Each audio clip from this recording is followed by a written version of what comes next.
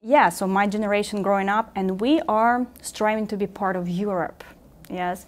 While my parents, my grandma, they still are nostalgic for Soviet Union. So by the time maybe that generation is gone, finally maybe people forget about the Soviet Union. But yeah, generation like my parents, they keep bringing up how nice and wonderful it was back then when the Soviet Union exists.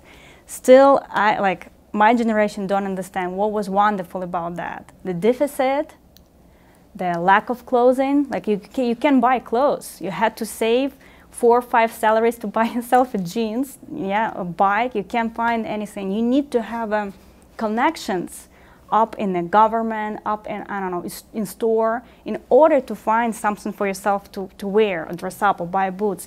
I don't get it. Food basically empty shelves and uh, propaganda, which is, of course, my generation is extremely, extremely against that.